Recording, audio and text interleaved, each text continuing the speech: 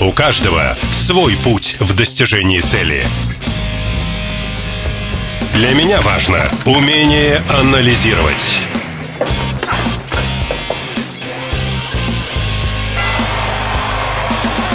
Стратегическое мышление.